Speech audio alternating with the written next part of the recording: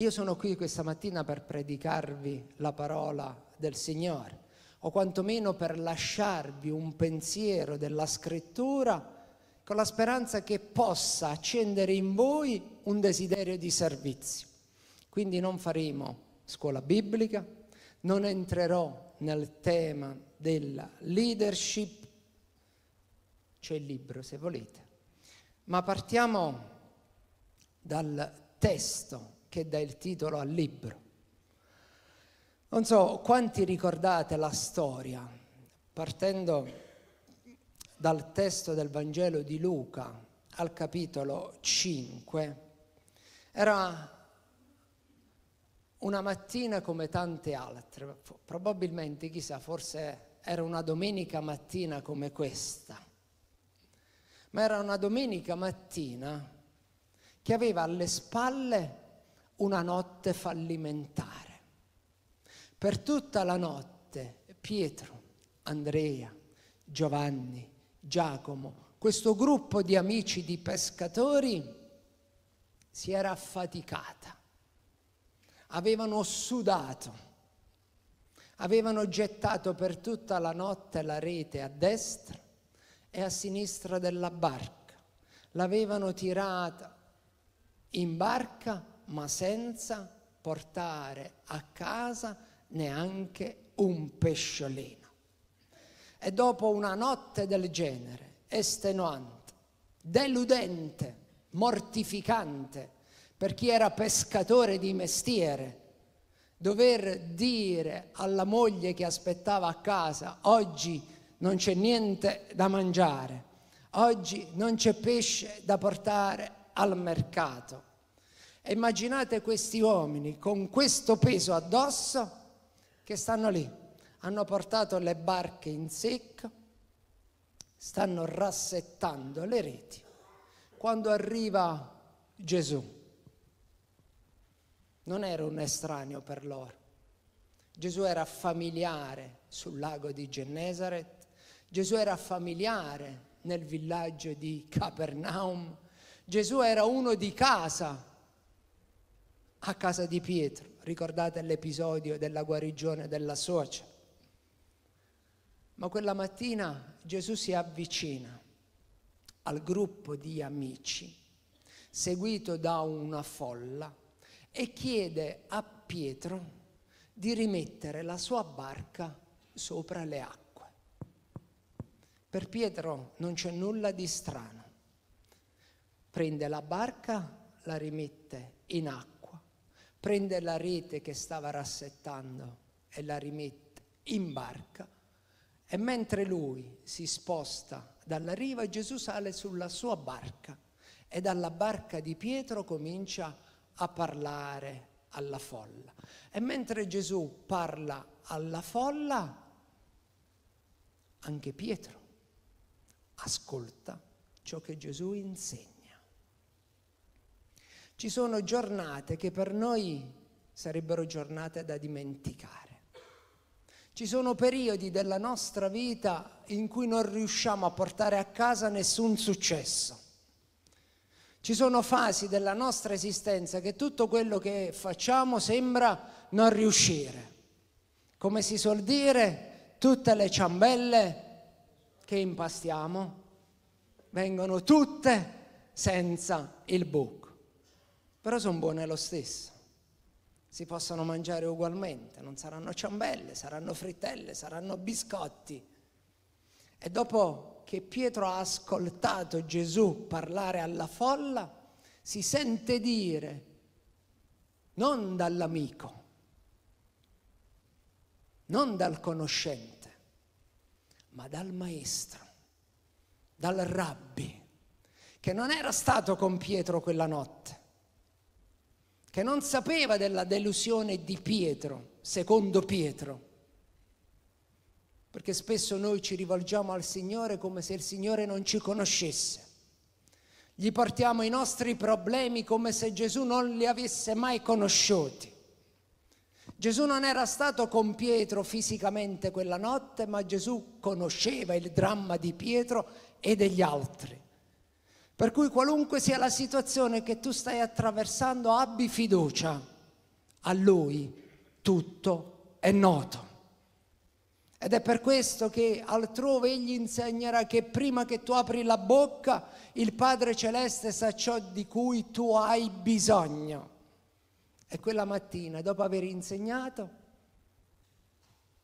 Gesù dice a Pietro, a questo punto, prima di ritornarcene arriva, prendi le reti e gettale sul lato destro. Viene sempre, nei nostri momenti più difficili e complicati, quel momento in cui la parola di Dio, lo Spirito Santo, la voce del Signore, Gesù Cristo, il Figlio di Dio, viene e ci sfida a fare qualcosa del quale noi ci sentiamo esperti, professionisti.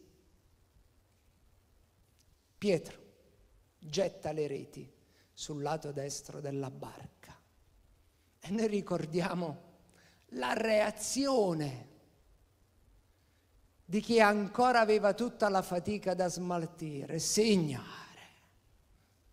è tutta la notte che non solo a destra, ma che ho calato la rete a sinistra, davanti, di dietro, e a destra, è uno, è due, è tre, e quattro, Signore, prego oggi e prego domani, digiuno oggi, digiuno domani, non manco mai in chiesa, ma questa mia vita non cambia mai.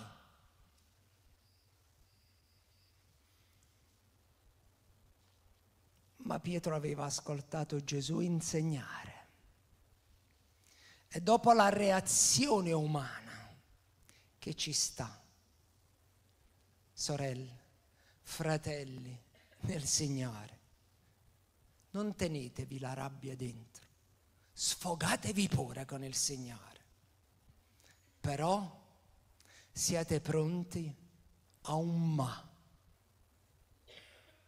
Quel ma che Pietro rivolge al Signore, ma alla tua parola io lo farò. se lo Spirito di Dio parla dentro di te, se un fuoco comincia ad ardere nelle tue ossa, se una parola ti spinge nella tua mente a far qualcosa che carnalmente, che umanamente avevi messo da parte, se il Signore che ti sta parlando non esitare, ma alla tua parola io obbedirò. E che cosa accadde? La storia la conoscete tutti e quindi evito di raccontarvela. Ma dopo quel risultato sorprendente, dopo quella pesca definita miracolosa, perché quando noi agiamo al comando della parola di Dio e succedono cose che non avevamo pre viste, che non avevamo messo in preventivo, diciamo è un miracolo. Ma per Cristo, per Dio, è ordinarietà. Non è nulla di straordinario, diventa straordinario per noi quando ci apriamo a vedere nella nostra quotidianità l'intervento soprannaturale di Dio ma la parola è chiara, Dio è lo stesso, continuate pure, ieri, oggi e in eterno, domani. È davanti a Pietro che stupisce, davanti a Pietro che riconosce la sua debolezza, davanti a Pietro che riconosce il fatto di aver dubitato, davanti a un Pietro che si umilia e dirà a Gesù ma c'è troppa differenza tra me e te. Cioè, non siamo due gocce d'acqua, così come a volte ci diciamo con qualcuno. Non siamo fatti l'uno per l'altro, cioè io sono il tuo opposto. Se tu sei il bianco, io sono il nero. Se tu sei l'alfa, io sono l'omega. Se tu sei a est, io sono ad ovest, Signore, allontanati da me. Quanto piace al Signore il fatto che noi riconosciamo che non siamo come Lui, che siamo troppo diversi da Lui. Ed ecco la parola. Non temere. Non farti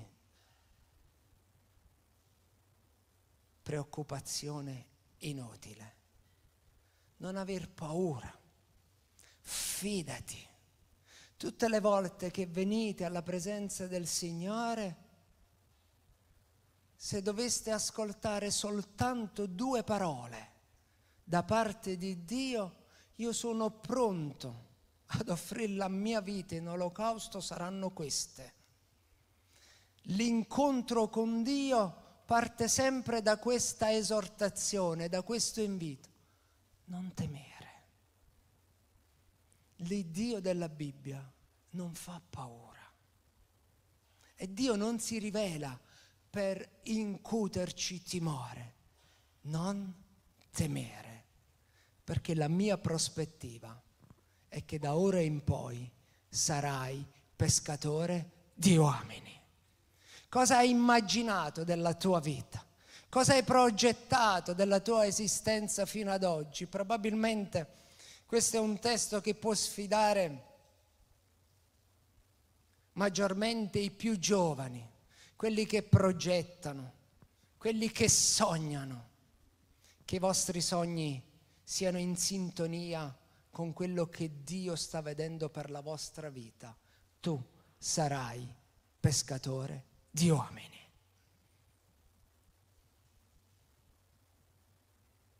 Pescatore. Continuerai a faticare. Non gli ha detto sarai cacciatore. Ha detto sarai pescatore.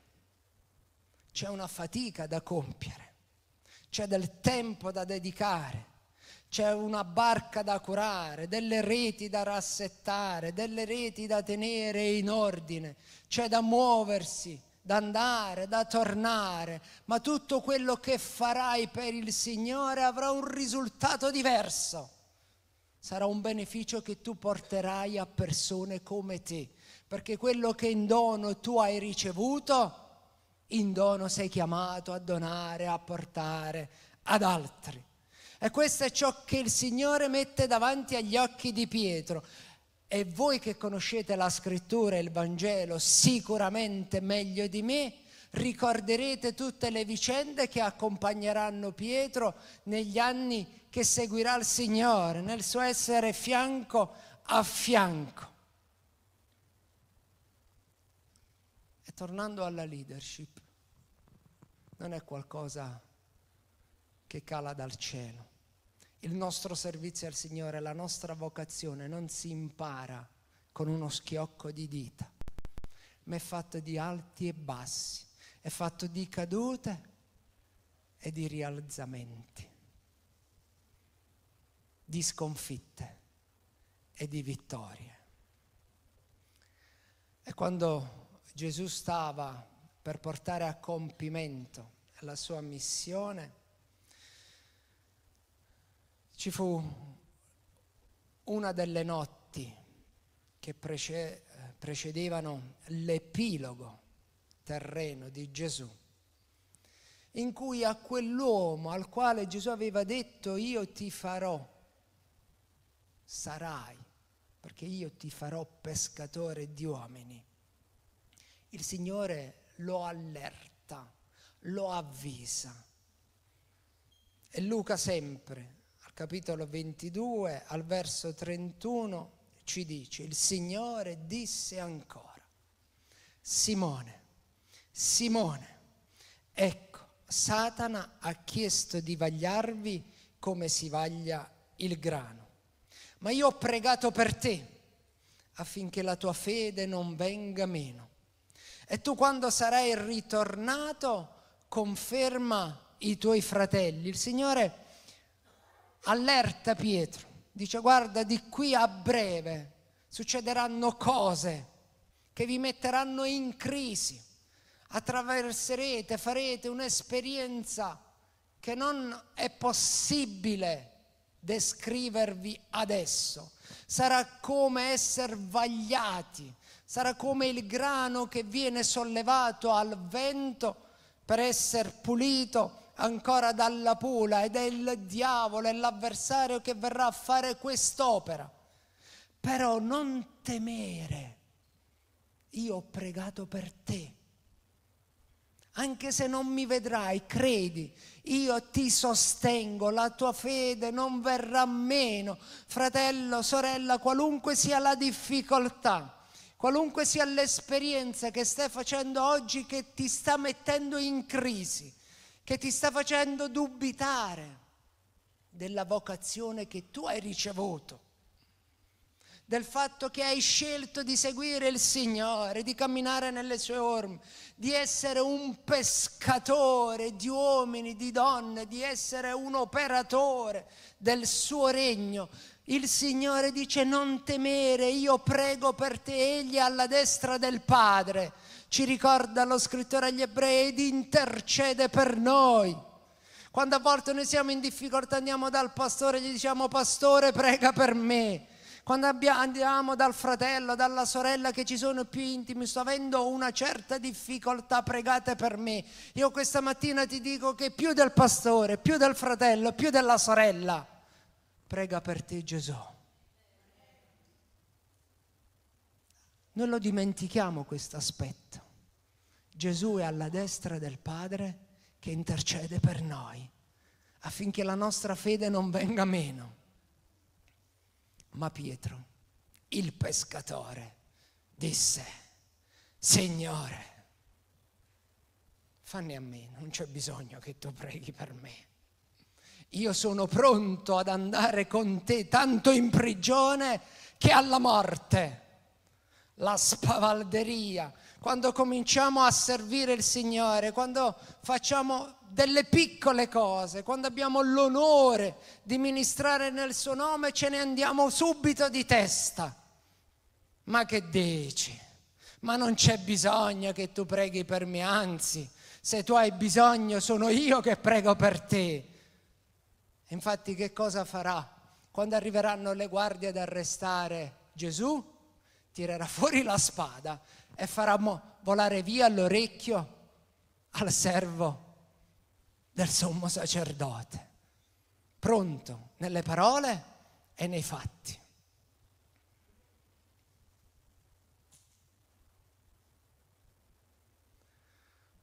In questo testo c'è un altro ma. Il primo ma era quello di Pietro, ma egli disse, verso 34, Luca scrive, ma Gesù disse, Pietro, io ti dico che oggi il gallo non canterà prima che tu mi abbia negato tre volte di conoscermi. Fratelli, mettiamo in conto che non siamo dei supereroi,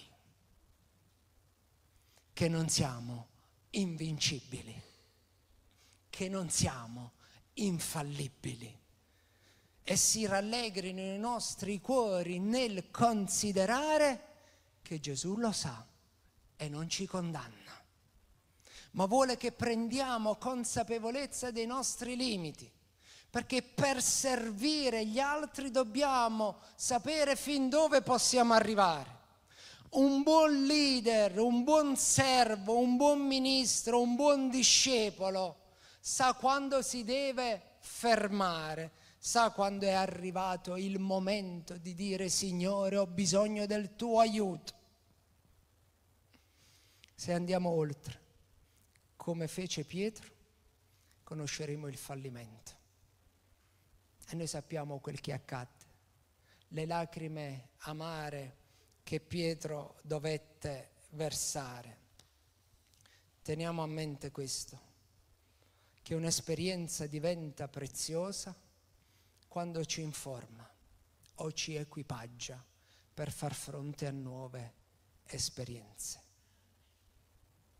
Tutti siamo chiamati a servire il Signore, ma tutti dobbiamo imparare. Le esperienze di chi è, è avanti nel servizio ci aiuteranno, così come noi faremo le nostre esperienze e le daremo agli altri. Tenete presente quello che ho messo nell'angolino. Facciamo fatica a imparare. Ma chi non impara non potrà trasferire ad altri. Vado velocemente alla conclusione affinché questa mattinata non sia fallimentare per me. Voglio essere nei tempi. Ma mentre preparavo questa riflessione è salito nel mio cuore. Sapete che il cuore dei servitori è come uno scrigno, all'improvviso viene fuori qualcosa. Ed è venuta fuori la figura di Aronne. Di Aronne, alter ego di Mosè. Voi che sempre conoscete la Bibbia meglio di me, ricorderete che quando il Signore chiamò Mosè, Mosè fece un pochettino come Pietro, no, se le mani avanti, cioè io non so parlare, non so capace, così come facciamo tutti quanti noi, quando nel nostro cuore il Signore comincia a mettere la vocazione, io sono certo che nessuno, mai, Signore, meglio di me non lo trovi da nessuna parte, ma poniamo dei limiti. E il Signore diede a Mosè per sopperire ai suoi limiti il fratello Arone, oh, tu non sai parlare, Va bene, tu sei la testa e lui è la bocca, un po' come i due carabinieri. Uno parla e l'altro scrive. Questo vuol dire che l'uno aveva bisogno dell'altro, ma ci sono situazioni nel racconto del, dell'Esodo, nel racconto che ci offre il Pentateuco, in cui i due sono separati. E in una circostanza, in una delle tante che Mosè sale sul monte per ricevere le tavole della legge, per parlare faccia a faccia con Dio, ci fu una notte fallimentare per Aronne. Il leader Mosè delega, lascia il campo nelle mani di Aronne, sicuro di chi era Aronne. E mentre Mosè è sul monte, passano i giorni, giù nell'accampamento, questo lo potete leggere al capitolo 32 dell'Esodo, io ho preso soltanto parte del primo verso, passando i giorni il popolo va da Aaron e gli dice, eh, Aaron, eh, Mosè non torna, facci un Dio che vada davanti a noi. Anche Aaron aveva fatto l'esperienza di ascoltare Dio parlare. Anche Aaron era stato al fianco di Mosè quando Dio si manifestava. Ma quel pomeriggio, quella sera, quella mattina, davanti a questa richiesta, senza Mosè, che cosa accade? Ricordate la storia? Aaron dice a quelli che vanno da lui, va bene, portatemi qui tutto il vostro oro, togliete gli orecchini dalle vostre mogli, eh, facciamo adesso, eh, Pastore Genni, facciamo una raccolta, eh, facciamo una rapina senza armi, consegnateci orologi, braccialetti, collanine, tanto non ne avete bisogno, qui siete nella casa del Signore, ne facciamo tutta una raccolta, poi io sono Mosè, lui Aaron, eh. poi de- decida lui che cosa farne, Aaron Aronne fa un vitello d'oro. Non ho il tempo per parlarvi del vitello d'oro, ma Aronne fa un, un Dio, una divinità che questo popolo possa vedere. Oggi il rischio di molti leader è cadere nel fallimento di Aronne, costruire una religiosità, una spiritualità che si possa vedere, che si possa toccare con le mani, dimenticando che Dio è spirito. Dio è spirito. Ma purtroppo c'è una parte di popolo che vuole adorare qualcosa che si vede e che si tocchi anche se questo gli costerà un sacrificio economico, anche se questo gli costerà dell'oro, sono disposti a pagare pur di averlo e il problema non è il popolo che richiede questo tipo di spiritualità. Il problema è che noi dobbiamo pregare di avere conduttori, leader, servitori che non siano deboli come Aronne perché Aaron che stava lì a rappresentare Mosè doveva dire al popolo aspettiamo, Mosè scenderà, se proprio non ce la facciamo invochiamo il Signore, adoriamo il Signore. E invece no, costruì un idolo. E quando Mosè scenderà dal monte dirà ad Aaron, ma che hai fatto? Aaron dirà, me l'hanno chiesto loro. Adamo, è stata lei. Io non ci azzecco niente. Quando si fanno i guai è sempre colpa di qualcun altro. Invece un leader, un servo, anche un discepolo, deve imparare a riconoscere gli errori. Mosè dovrà pregare affinché Dio non faccia morire Aronne questo lo leggete nel Deuteronomio, è lui a dirlo, ho dovuto pregare per Aaron perché Dio lo voleva distruggere. Io spero che questa riflessione a pizzichi e a mozzichi, perché ci sarebbero volute ore per scendere nello specifico, ma possa lo Spirito accendere questo desiderio in voi di andare a leggere, ad approfondire Abbiamo bisogno di uomini, di servitori, di pescatori che siano capaci di trasferire la fiamma, che è unzione, che è santità, che è devozione, che è sottomissione, che facciano nascere in altri credenti il desiderio di servire il Signore. Questa immagine non l'ho inventata io, anzi l'ho presa in prestito e l'ho utilizzata anche nel libro. Servire il Signore è come essere una candela per accendere la vita degli altri. Uno, ti devi consumare e due, per passare la fiamma. Avete mai acceso una candela con un'altra candela? Cosa dovete fare? Abbassarle, portare quella fiamma, servire il Signore è questo, è abbassarsi, chinarsi sugli altri affinché quella fa- fiammella che è dentro di noi possa accendere qualcun altro.